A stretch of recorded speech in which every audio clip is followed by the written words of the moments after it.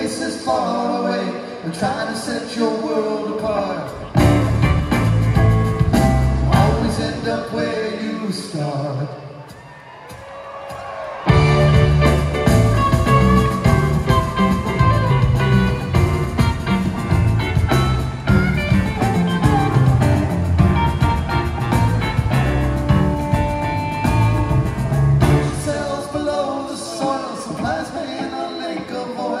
don't think that